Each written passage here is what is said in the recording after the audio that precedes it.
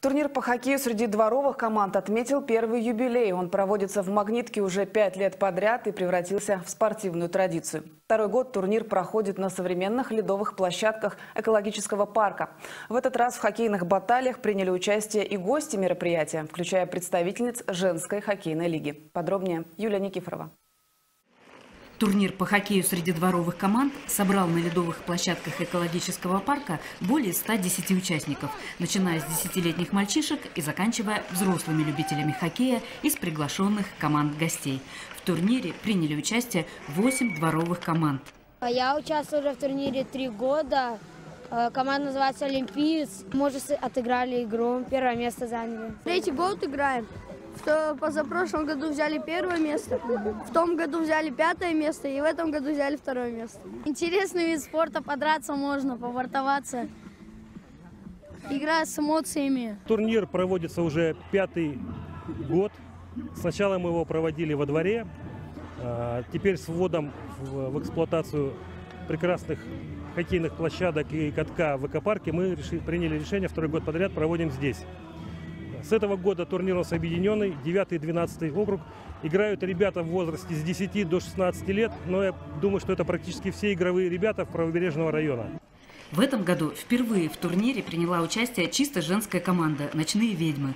Правда, свой первый матч против команды «Родник» детского специализированного центра девушки проиграли со счетом 4-2. На этом турнире мы впервые, мы только начинаем играть, и для нас это очень хороший опыт в плане того, что у нас скоро мы поедем на Лигу женского хоккея, на российский чемпионат. И здесь эта тренировочка, замечательный турнир, спасибо организаторам, которые устраивают этот турнир. Организаторы турнира, депутаты Магнитогорского городского собрания Александр Мухин и Олег Ширяев, представители комбината, спортивными традициями ММК дорожат и всячески стараются их поддерживать. На комбинате всегда поддерживался и в группе компании занятий спортом. В этот раз вот финальная игра проходит между ММК «Метис» и механоремонтным комплексом.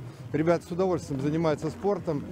И большие традиции и на метизно-калибровочном заводе, механоремонтном комплексе. И вот проведение таких вот турниров, совместных турниров, это сближает ребят. Ну и вообще э, пропагандирует здоровый образ жизни и стремление заниматься спортом. Хоккей начал играть буквально пару лет назад, как бы пригласили вот в заводскую команду, Э, начал участвовать там в любительском турнире, вот э, сейчас позвали здесь на праздник спорта, да, тоже поучаствовать, сыграть товарищеский матч с командой механоремонтного комплекса. Финальный матч между командами ММК «Метис» и МРК, как и предполагалось, стал самой горячей и напряженной игрой турнира. В результате со счетом 6-0 победили хоккеисты механоремонтного комплекса. Победный кубок отправился в спортивную копилку МРК. Сыграли отлично, команда у нас от- хорошая, отлаженная. Спасибо ребятам за то, что приняли участие, спасибо организаторам.